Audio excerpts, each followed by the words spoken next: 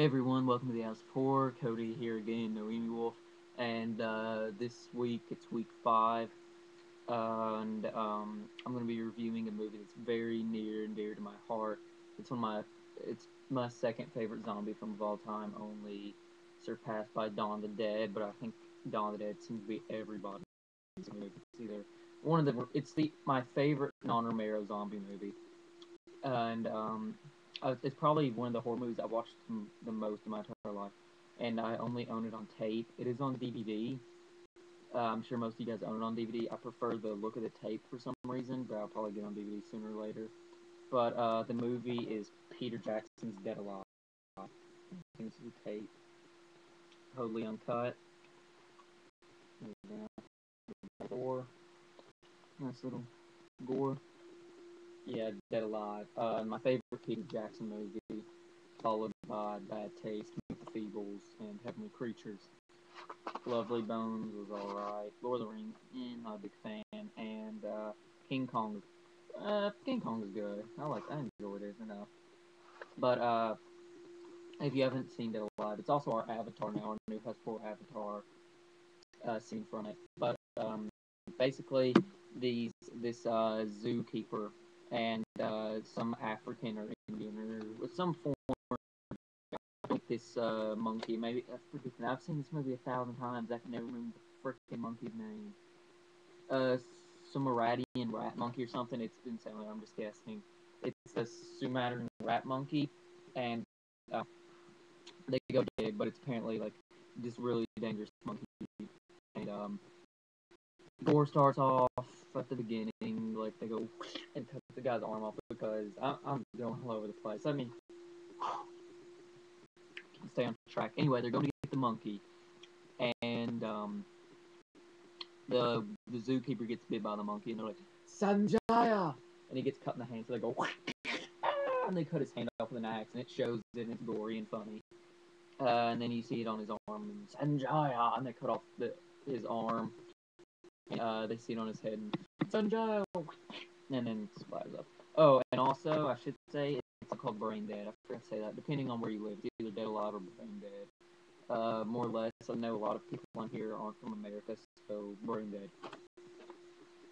Anyway, uh, it gets to America anyway because the African guy wanted money, and it it's up in a zoo at uh, in New Zealand where um, this boy his mother who doesn't appreciate. He's like, Lyle, there's dust everywhere. Why isn't this place dusted, Lionel? And he uh, goes into a convenience store one day and to get some food and biscuits and stuff for his mother. And this uh, girl's parents are like gypsies, or her grandmother or mom or whatever gypsy.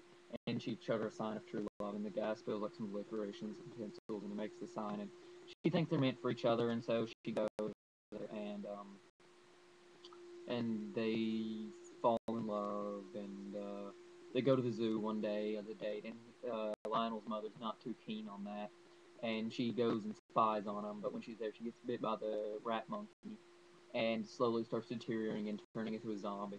And uh, she's it starts spreading the virus, and all kinds of other people die, and it's an all-out fucking zombie gore fest. And it is the goriest movie ever made. Uh, as uh, as far as I know. If there's another one that's a way gorier, please, please let me know. Because I saw this movie at a really young age, and once you see this movie, seeing the really goriest movie before you see a lot of horror movies, it's kind of hard to watch horror movies that are called the goriest movies ever, because you know this will always be gorier. It may not be the most realistic gore, but it's still gory, and we all know the lawnmower scene when he kicks on the door and the like, party's over. Yeah, I don't want to ruin anything if you haven't seen it, but 99.9% of you guys probably have seen this. And there's some great comedy, like where he's running in the blood and he uses the heads, uh, the heads as headstones. Ha ha ha. Uh, really all around great movie, almost a near perfect movie. My favorite character in the movie though is one that a lot of people don't even remember. He's in it for like altogether maybe a minute, but it's uh, the Nazi doctor. They're like, uh, he knocks on and goes, "You're from the MI I thought you people a hundred stinking times. I lost my paper. Oh, hi. That's probably a terrible impression, but he's like, my family, we came to America during the time of the war, and he's like, I just want some sedatives, and he's like, cities? What do I look like, goddamn doctor? I don't sell sedatives. Tranquilizers? I do have. And I don't know why, but I always laugh at that part. I find it really, really funny. And the rest of the movie is just perfect. The gore is. Um, there's a preacher who kicks some zombie ass. Um, what else is there that I can speak about?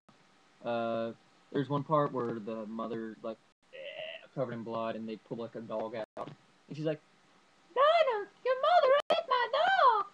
And that's actually the Spanish title. I think I honestly think the Spanish title of that movie is "Your Mother Ate My Dog."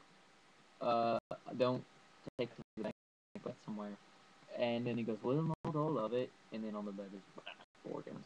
And then of course there's a zombie baby, the the dead zombie preacher or priest, I should say, and the dead zombie nurse. You have to see I'm saying. They, you know, do that at um, the table, and they make a zombie baby, which is probably my second favorite character. He's like, and he just mischievous, and he kills, and he. The my favorite all. It's not. It doesn't have like virtually any gore, but it's when they're at the playground. and he's beating the shit out of the baby. Oh my god, that's so funny. I, I honestly, that's probably one of my favorite movie scenes of all time. And he like takes a swing, he's like, and slams in the baby's head. And that homeless guy is like, ah, laughing. These women are like, oh my god, because they have no idea it's a zombie baby, and it's hysterical. Def- but uh, definitely check out Dead Alive if you haven't seen it. Uh, I prefer the look of the VHS. Uh, but if of course you can't get it on DVD, I'm pretty sure it's fairly cheap. I got this for a dollar at the Goodwill, so hooray. Uh, that, I didn't even know what it was. I just saw the cover and I thought it looked cool, so I picked it up at the Goodwill. Um, definitely a highly, highly, highly recommended movie if you haven't already seen this.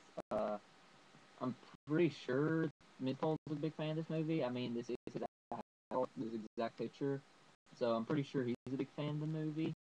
Um, I think most people are a huge fans of the movie that have seen it. But if you haven't seen it, please check it out for me and uh, tell me what you think about it.